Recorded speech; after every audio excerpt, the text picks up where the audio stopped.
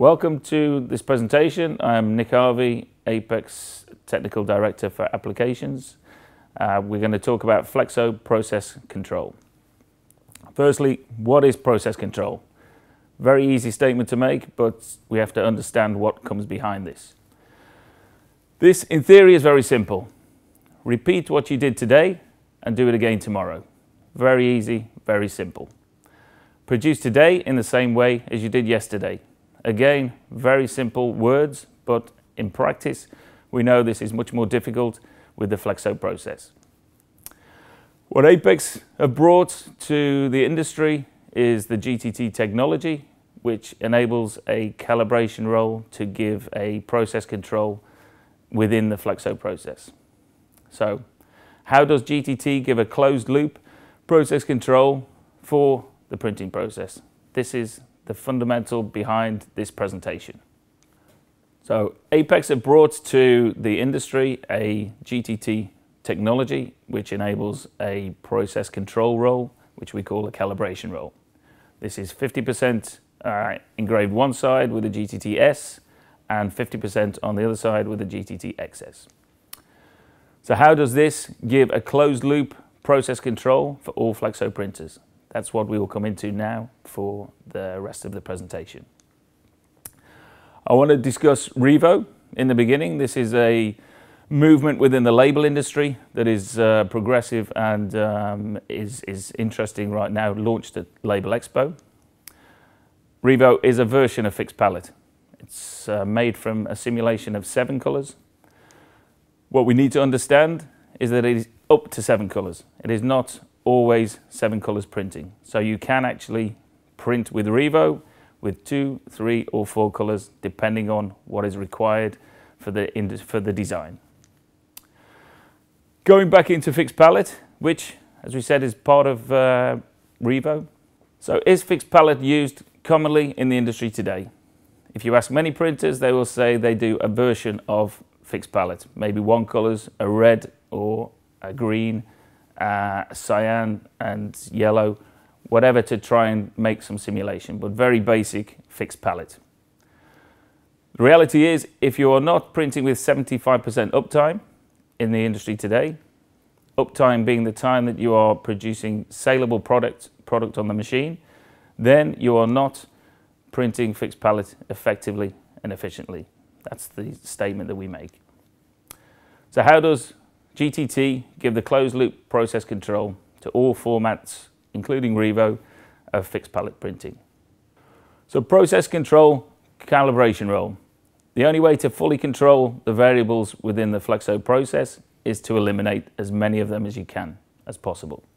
With GTT, we have the possibility to identify parameters that cause problems in print, whether it be ink, plate, or dirty Anilox related because of the consistency of our GTT.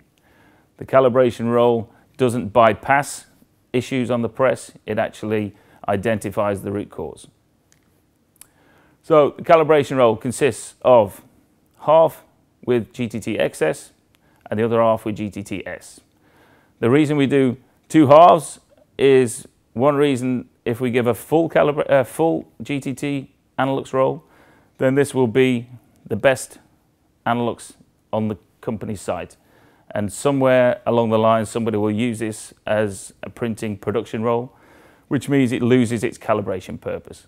So the fact that it is split, it has two engravings, means that it cannot be used in production and it will always remain as a calibration stroke reference roll for the printer. The calibration roll process control explained a little bit in more detail how to use this within the production process. Within the design, control blocks are required to be added for the yellow, magenta, cyan and black. This can be only 100% and 50%, or if you have space, also 10%. These are the values we work with which control the Pantone simulation. Most designs have space for these to be fitted on. And again, if you can't measure it, you can't control it. So they should be within the design. Situation one, Looking at the 100% block, 50% and the 10%, if we notice on setup that the 100% color density is incorrect, is too low, we make the following action.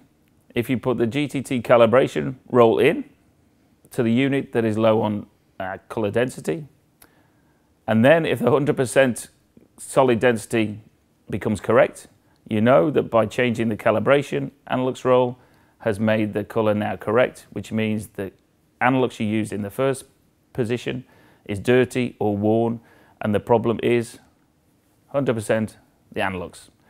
So you can take action, clean the anilox or replace it with a spare one that you have on site. Situation one. We have also situation two, where the 100% solid density is still incorrect, the same as situation one. 50% is good and the 10% is good. We again replace the GTT anilox with, for the calibration anilox that they have. The 100% solid density remains out of color spec, so the density remains low. You know it cannot be the anilox. The anilox has been calibrated to the roll that you've just put in, so the anilox is correct. Therefore, the solution has to be a poor or out of specification ink. So the next change obviously is to change ink formulation or the ink bucket. Situation three, this is where the 100% is correct, 50% is correct, and the 10% is correct. This is Flexo printing by numbers. If these values are correct, then the design, the image, the color simulations have to be correct. If not, if the design or the colors are wrong, the only solution is that the repro is at fault. So it cannot be the anilox and it cannot be the ink. This is a clear identified area of, of the fault. So again, situation three, problem repro. We also can take into another dimension, situation four, where the 100% density is correct, but the 50% and the 10% are out. So again, we change for the calibration Anilox roll.